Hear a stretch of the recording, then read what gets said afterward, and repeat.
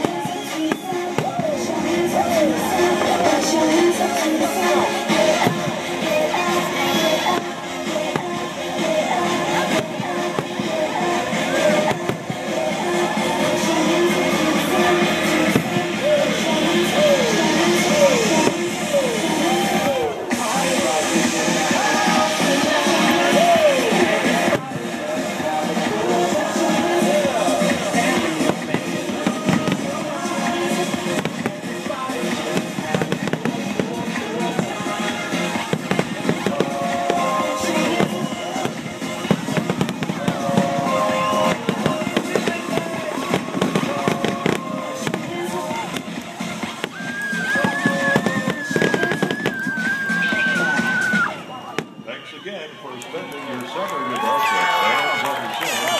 We hope you enjoyed the fireworks. Remember to join us every Friday and Saturday night, now through August 11th, as we bring you the best with local and regional bands.